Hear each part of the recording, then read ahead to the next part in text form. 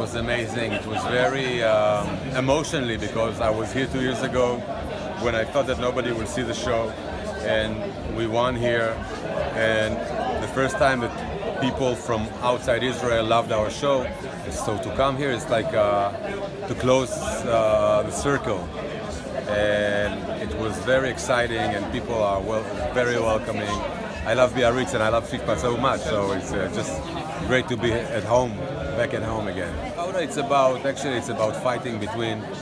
Uh, it's about war between Israelis and Palestinians, but actually it's about let people to understand, to try to understand the other side from their position, their narrative, and everything.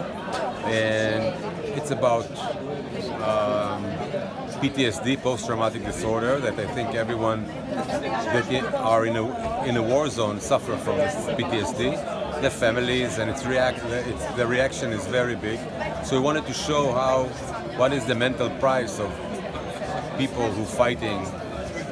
It doesn't matter if it's in Israel; it could be all over the world, but people fighting in Israel and how it's affect their family, their life, their children, and uh, their friends, and that's it.